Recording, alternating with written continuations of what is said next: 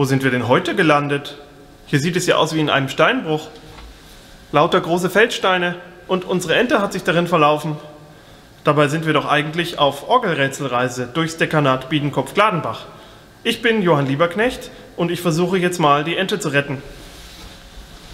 Ach so, letzte Woche waren wir in der evangelischen Kirche in Elmshausen.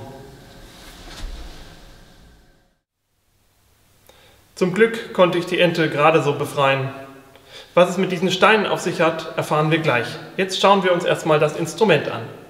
Wir haben hier ein Manual mit fünf Registern und Pedal mit zwei Registern und eine pneumatische Traktur. Die Orgel wurde gebaut von Eduard Vogt aus Korbach. Sie stammt aus der Bauzeit dieser Kirche, die im Jahr 1913 eingeweiht wurde.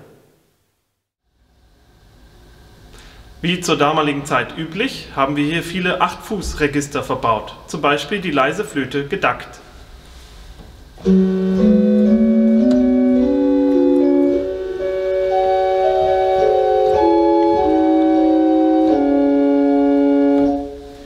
Eine weitere schöne Flöte im Vierfußbereich ist die Traversflöte.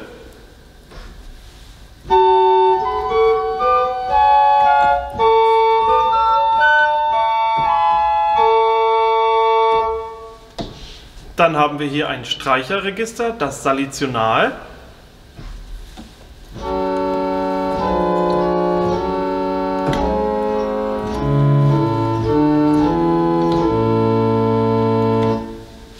Und natürlich haben wir auch die kräftigen Grundstimmen der Prinzipalregister.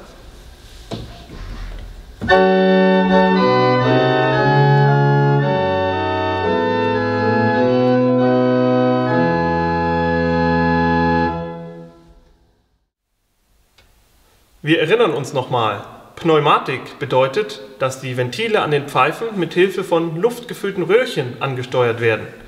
Wir haben also nicht nur den Spielwind, der durch die Pfeifen strömt und klingt, sondern auch den Arbeitswind, der die Mechanik in Gang setzt. Wir brauchen also jede Menge Luft und da kommen jetzt die Steine ins Spiel. Wir sehen hier im Inneren des Orgelgehäuses den Balk, in dem die Luft, die vom Gebläse erzeugt wird, gespeichert ist. Wir brauchen einen gleichbleibenden Winddruck für die Versorgung der Pfeifen und für die Bleiröhrchen, die wir hier im Hintergrund sehen. Mit Hilfe von Gewichten wird der Balk beschwert. Deswegen liegen hier die großen Steine. Das sind zusammengenommen mindestens 100 Kilo. Wenn jetzt der Orgelmotor angeschaltet wird, sehen wir, wie sich der Balk entfaltet und das Ganze hier nach oben gehoben wird. Bei dem Gegengewicht der Steine muss hier schon ein ganz schön kräftiger Motor am Werk sein. Wenn der wieder ausgeschaltet wird, drückt das Gewicht der Steine den Balk wieder in sich zusammen.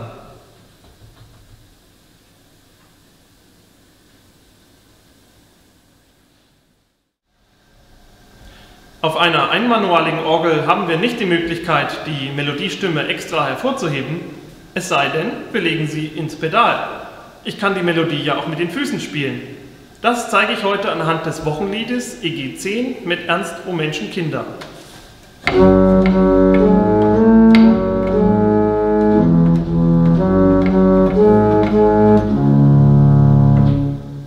Die Hände spielen dann eine Begleitung dazu und damit man das Pedal trotzdem kräftig hört, kann ich die Pedaltöne einfach verdoppeln und spiele sie mit beiden Füßen in Oktavabstand.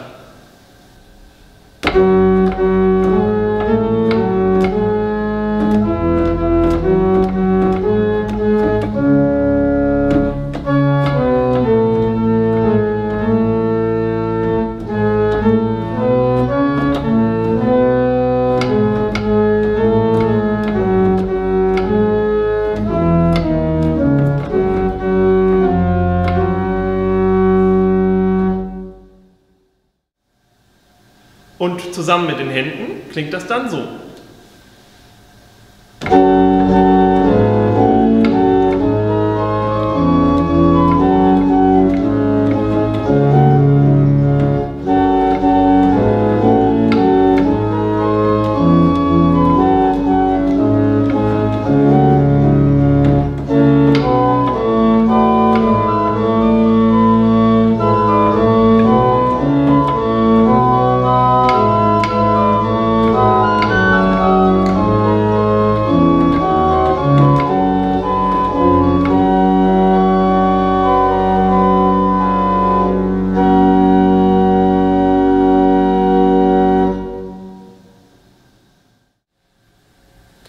Das war's von mir von hier für heute. Ich hoffe, es hat Ihnen gefallen.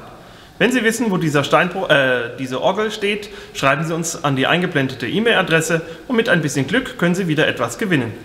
Ich verabschiede mich von Ihnen, wünsche Ihnen eine gesegnete Adventszeit und bleiben Sie musikalisch.